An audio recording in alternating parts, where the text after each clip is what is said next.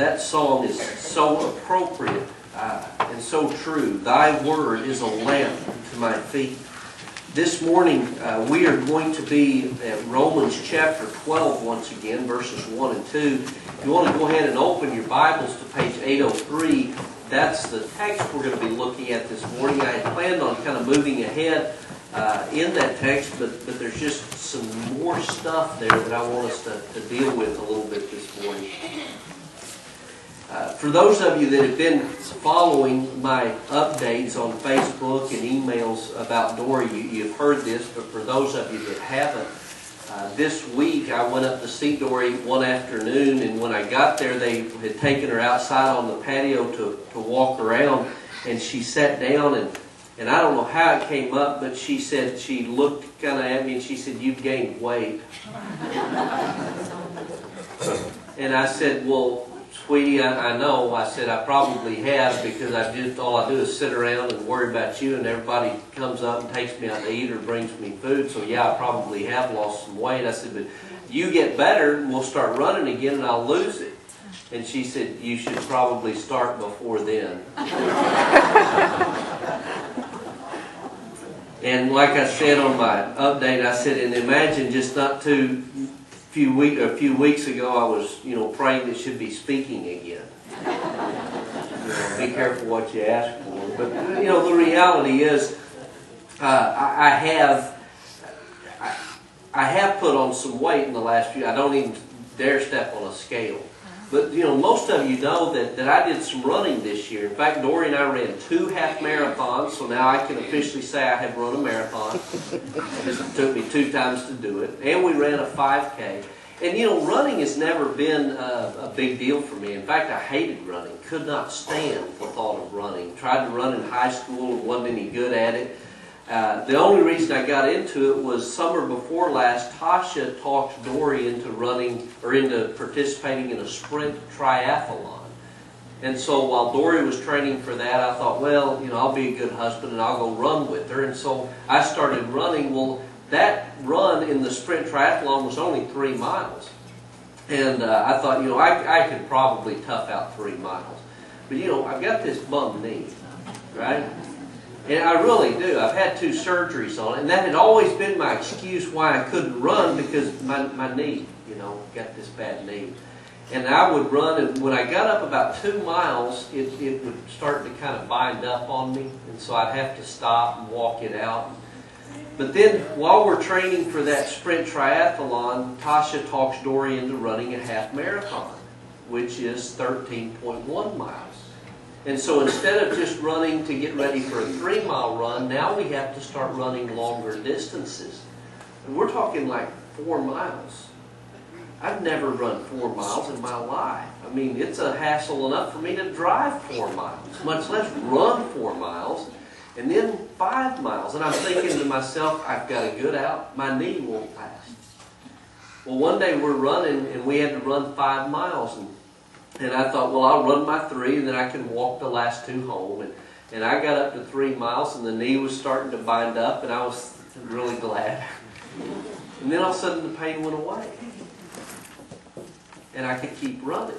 And I've lost my excuse without lying, and I didn't want to do that, so I just kept running. And what I found was the more I ran, the better I felt. And when we started getting up to longer and longer distances, you know, I just, I really started feeling good. I started eating better, and before long, I just, I felt healthy. And then we ran that first half marathon, and then we started training for the second one, and I went down, I got my cholesterol checked, and it was normal for the first time in my entire life. You know, and they've had me on medications forever, and, and I've always just been hovering just above the normal mark. And he's always talking about, you know, increasing it just a little bit. And, and I keep saying, let me see if I can get it down. Well, I finally did, but it takes running. And, and so we trained for the second half marathon, and, I felt good. When I finished that race, and I felt really good. Then we ran a 5K, and I felt really good. And then I haven't done anything for the last two months, and I feel good. You know? You don't realize how good things are until you experience them. you know, people had always told me, people who run always said, you feel great when you're running. And I was like, yeah, right. Until I started running. And now I know what they mean. And now especially that, I, that I've gotten out of shape, you know, I, I feel the difference.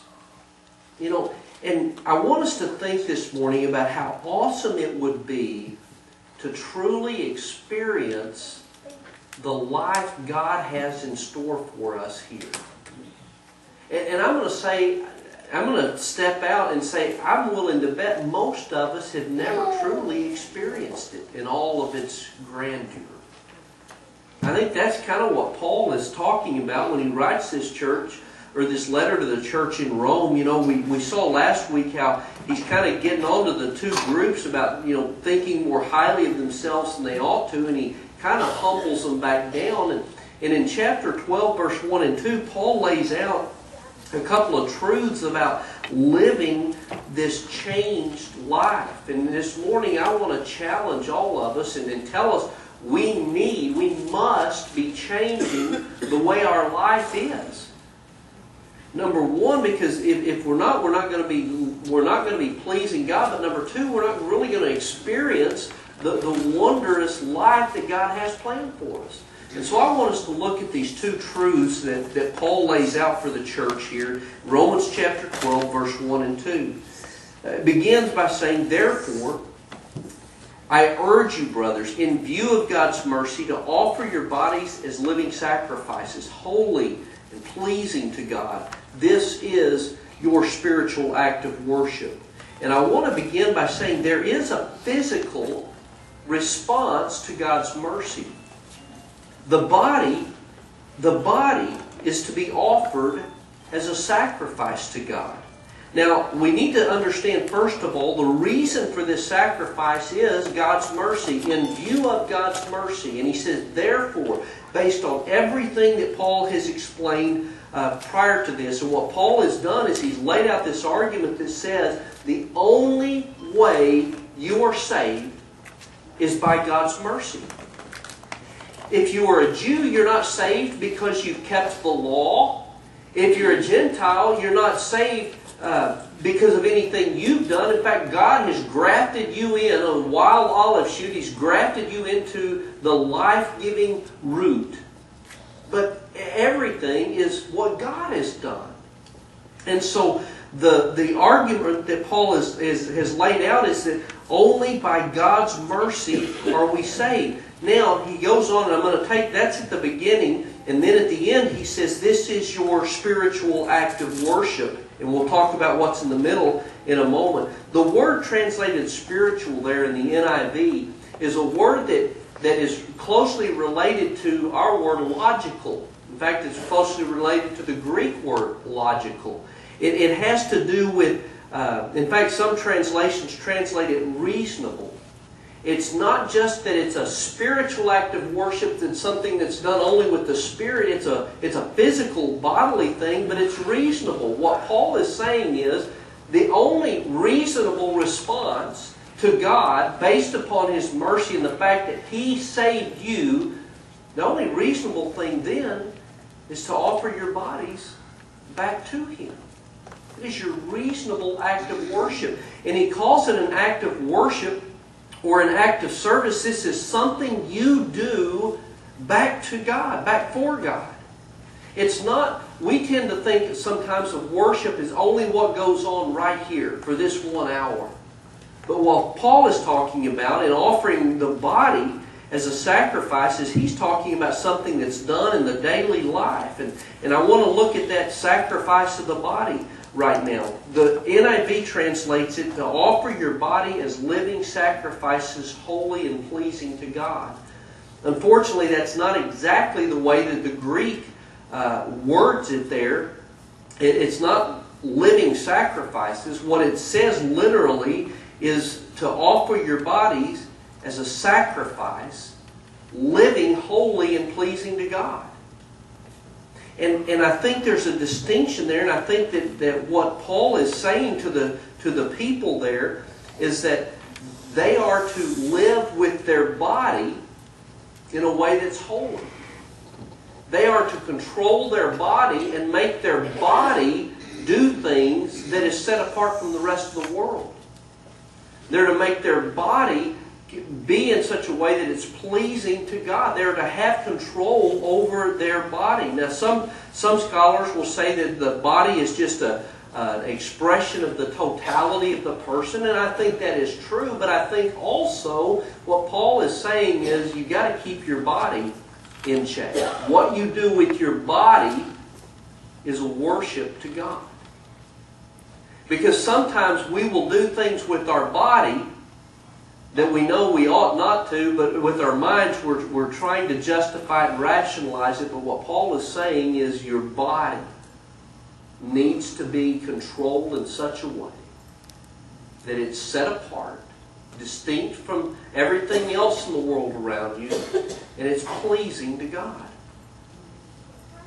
And so we need to rethink how we worship God in our daily lives we need to give a little more thought to God's mercy.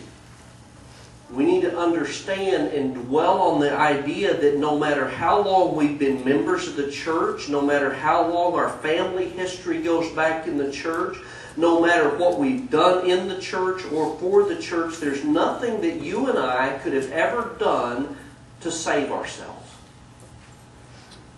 The only way we will ever get to heaven is because of God's mercy. And that ought to impact and change the way we live our daily lives. Our, act, our sacrifice should become a way of life. It's, it's easy for us to become Sunday Christians. Well, there's so much temptation out there in the world, so much temptation to satisfy the cravings of our sinful nature, the, the cravings of our body. And, and it's so easy to go out there every day and, and we live that life. We do what feels good to me and what pleases me. And then we come in on Sunday and we, and we dedicate this hour to God.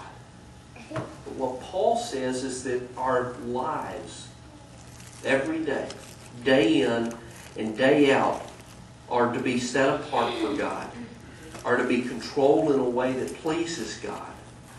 And really, that's the only reasonable response to the mercy that God has shown us. Is it a spiritual thing? Yes, it is, because, because the Spirit of God now lives in us and guides and directs us how we are going to live and how we are going to control our, bo- our body.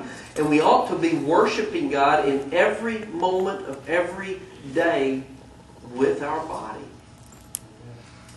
I want to ask you a question. I don't want you to raise hands because even though it'd be easy to raise hands on the first question, the second question you might not want to, to, to reveal to everyone, but I want you to think honestly and deeply about these two questions. First of all, uh, how many of you consider yourselves to be a Christian? I said, don't raise your hands. You're not following instructions.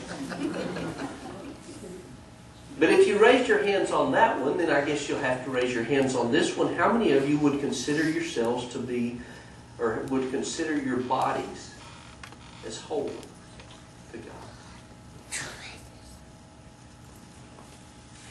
There was a, a survey done by the Barna Group in 2006 and, and, I'm reading here, it says it demonstrated that most Americans don't consider themselves to be holy. Three out of every four Americans, now this is the American population in general, this is not the church, we'll get to that in a minute, but three out of every four Americans, or 73%, believe that it's possible for someone to become holy regardless of their past. But only half of the adult population, 50%, however, said that they knew someone that they considered to be holy. Now, again, holy does not mean perfect, it means set apart to God. 73% of Americans said that yes, people can become holy regardless of what they've done in their past, but only half of Americans said they knew someone that they considered to be holy or set apart to God. And only 21% of those considered themselves to be holy and set apart to God. And you think 21%, that's not many people. And consider themselves to be holy, but- surely in the church that's a whole lot better. Well, the statistics in the church were almost exactly the same. 76% of all believers, born again Christians, said that it's possible for a person to become holy regardless of their past. A little more than half, 55%, said they knew someone that they would describe as holy, and only 29% of Christians said that their lives were holy. And, and I read this and I think maybe this is part of the reason that, that churches these days are struggling with growing and bringing people in because we don't even consider ourselves different from the rest of the world.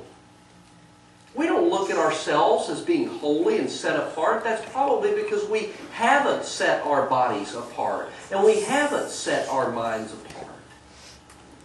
We, we probably have never jumped in and started training to run the race that God has called us to do because uh, Blake and I were talking before uh, services began this morning. You know, water flows to the path of least resistance, and I think we do too. We do what's easiest. Living a holy life is not the easiest, but that's what we're called to do. So, how do we go about changing our life? How do we go about making our bodies this sacrifice that is living holy and pleasing to God? And I think that's what Paul comes into next. He gives kind of two instructions for holy living in verse 2. Do not conform any longer to the pattern of this world, but be transformed by the renewing of your mind. And then you will be able to test and approve what God's will is, His good, pleasing, and perfect will. Now, offering the body as a sacrifice has to do with what influences a person. The, the first part of this, this is a negative command do not be conformed to the pattern of this world. Uh, NIV misses the translation a little bit because this is a passive verb. And they translated it almost as an active verb. Uh, what it really literally should say is do not be conformed to the pattern of this world. Uh, you know, active means like, you know, I hit Randy. That would be me being active. Passive would mean that Randy hit me and I received the hit. And Paul is saying, do not be conformed to the pattern of this world. Don't let this world shove you into its pattern. Don't be so influenced by this world that, or this age. Literally, the word there is this age uh, the, the world as it's controlled by Satan, who is ruling now, don't let this world just squeeze you into its pattern. And then he goes on with the, with the next step. And, and by the way, you know, the church in Rome, the world in Rome had a really powerful influence on these early Christians, trying to get them to, to act and to think and to be just like the rest of the world.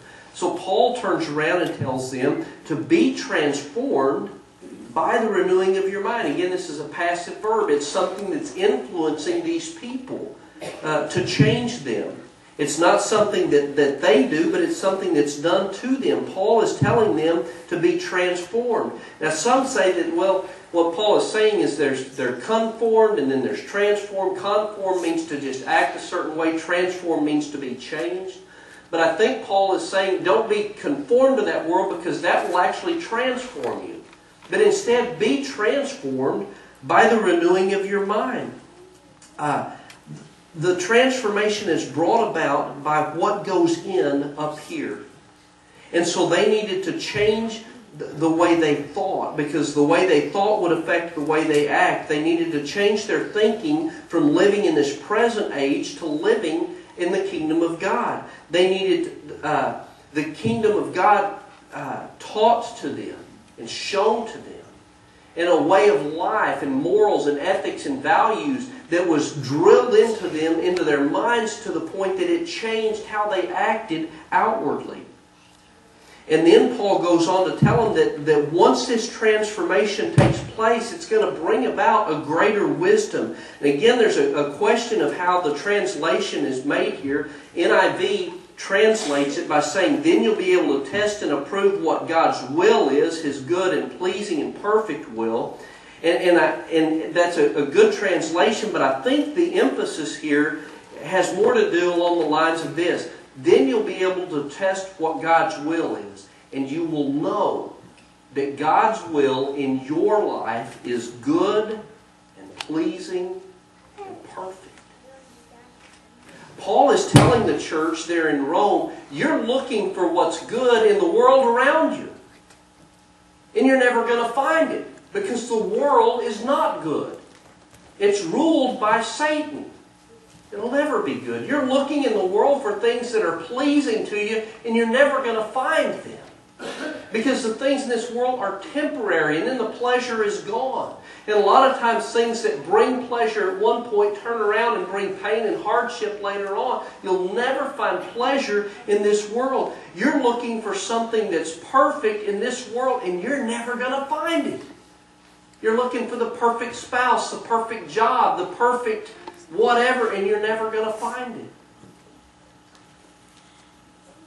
The only way to know good and pleasing and perfect life is to be transformed so that you know the will of God.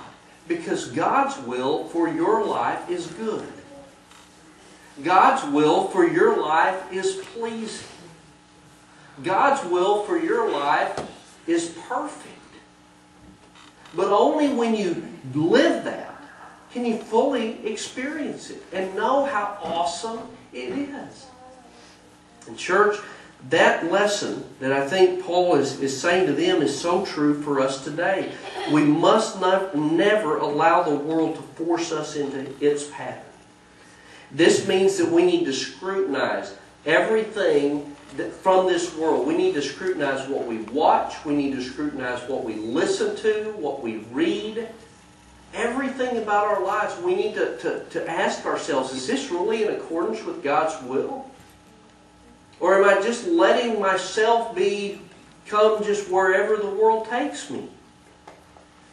We need to allow ourselves to be transformed by the renewing of our mind. We need to put new messages into our head. We need to, to be transformed according to God's will, which means we need to, to listen to things that are in accordance with God's will. We need to read things in accordance with God's will. We need to watch things that are in accordance with God's will. We need to start transforming our minds. How many of you listen to K-Love, the, the radio station that's on now? Plays contemporary Christian music. They had a they started a deal the first of the year, 30 days of listening to nothing but Christian music. And that was their challenge. Now, I've listened to the radios. I'm driving back and forth to the hospital, back and forth to work, and I usually listen to K-Love anyway because it's positive, encouraging. That's their slogan, positive, encouraging, K-Love. And, and it usually is pretty, you know, positive, encouraging, a whole lot more than Jim Fisher or Rush Limbaugh. And so I, I listen to that quite a bit. And they're doing this challenge for 30 days, and they put reports on there of people whose lives have been affected by listening to nothing but Christian music since then. Well, the other day I got in my pickup. I've been driving Dory's car, and I got in my pickup to, to haul some, some equipment out at the farm the other day, and I turned the radio on. Well, it was still set on uh, the country station. I'm driving along in the road, drink, singing about drinking whiskey barefoot on the beach, and all of a sudden it dawned on me how easy it is to just of go with the flow.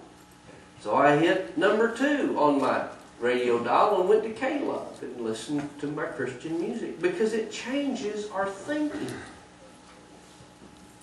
And, and I want to challenge you to start doing some things in your life that will change your thinking. Listen to Christian radio stations. Listen, read Christian books. Watch Christian movies. And start being transformed by that. Because when we allow this transformation, then we're going to see that the world really doesn't hold any good. And the world really doesn't provide any pleasure.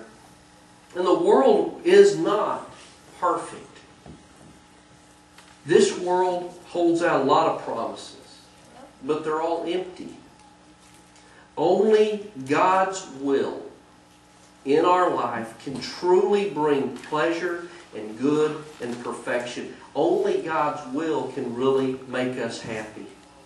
A preacher named uh, Philip Ryken used this illustration. He posted it online, and so I'm borrowing it. And I'm just going to read it verbatim. Uh, he said, in his book, Don't Waste Your Life, John Piper recounts a story his father often told in his days as a fiery Baptist evangelist. It is a story of a man who came to saving faith in Jesus Christ near the end of his earthly existence. Piper writes, The church had prayed for this man for decades. He was hard and resistant, but this time, for some reason, he showed up when my father was preaching. And at the end of the service, during a, during a hymn, to everyone's amazement, the man came and took my father's hand.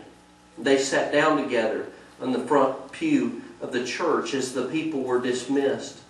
And God opened his heart to the gospel of Christ, and he was saved from his sins and given new life. But that did not stop him from sobbing and saying, as the tears ran down his wrinkled face, I've wasted it. I've wasted it. By the grace of God, even a life that is almost totally wasted can still be redeemed. As the Scottish theologian Thomas Boston once said, our present existence is only a short preface to the long eternity. If that man, if that is true, then the man's life was not wasted after all. He was only just beginning an eternal life of endless praise. And then Ryken goes on and says, But why wait even a moment longer before you start to serve Jesus?